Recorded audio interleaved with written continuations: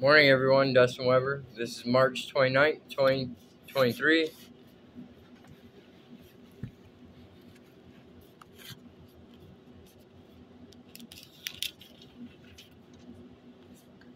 We open up to Mark. We're on Mark 3. It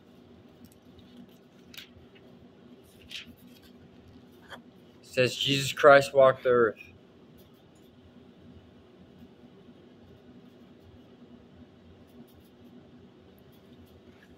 The Apostle Mark.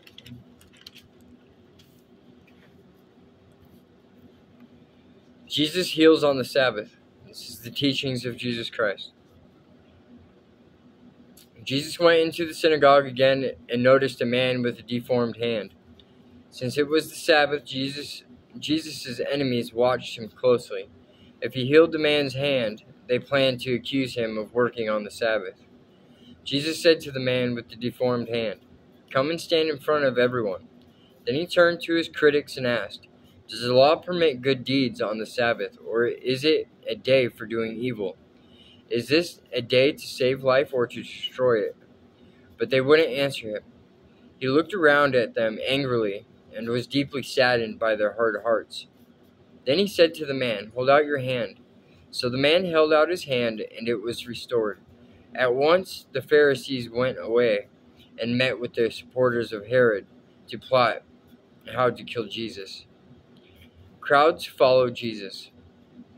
Jesus went out to the lake with his disciples, and a large crowd followed him. They came from all over Galilee, Judea, Jerusalem, Id- Idumea, from east of the Jordan River, and even from as far north as Tyre and Sidon. The news about his miracles had spread far and wide, and vast numbers of people came to see him. Jesus instructed his disciples to have a boat ready so the crowd would not crush him. He had healed many people that day, so all the sick people eagerly pushed forward to touch him.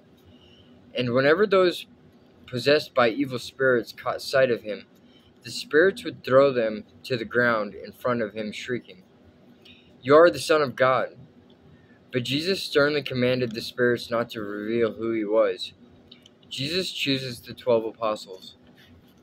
Afterward, Jesus went up on a mountain and called out the ones he wanted to go with him. And they came to him. Then he appointed twelve of them and called them his apostles. They were to accompany him, and he was he would send them out to preach, giving them authority to cast out demons. These are the twelve he chose. Simon, whom he named Peter, James and John, the sons of Zebedee, but Jesus nicknamed them the sons of thunder, Andrew, Philip, Bartholomew, Matthew, Thomas, James, son of Alphaeus, Thaddeus, Simon the Zealot, and Judas Iscariot, who later betrayed him. Jesus and the Prince of Demons. One time Jesus entered a house, and the crowds began to gather again. Soon he and his disciples couldn't even find time to eat. When his family heard what was happening, they tried to take him away. He's out of his mind, they said. But the teachers of religious law who had arrived from Jerusalem said, He's possessed by Satan, the prince of demons.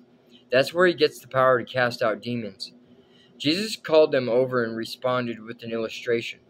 How can Satan cast out Satan? he asked. A kingdom divided by civil war will collapse. Similarly, a family splintered by feuding will fall apart. And if Satan is divided and fights against himself, how can he stand? He would never survive. Let me illustrate this further. Who is powerful enough to enter the house of a strong man and plunder his goods? Only someone even stronger, someone who could tie him up and then plunder his house. I tell you the truth, all sin and blasphemy can be forgiven, but anyone who blasphemes the Holy Spirit will never be forgiven. This is a sin with, with eternal consequences. He told them this because they were saying he's possessed by an evil spirit. The true family of Jesus. Then Jesus' mother and brothers came to see him. They stood outside and sent word for him to come out and talk with them. There was a crowd sitting around Jesus, and someone said, Your mother and your brothers are outside asking for you. Jesus replied, Who is my mother, and who are my brothers? Then he looked at those around him and said, Look, these are my mother and brothers. Anyone who does God's will is my brother and sister and mother. In Jesus' name I pray, amen.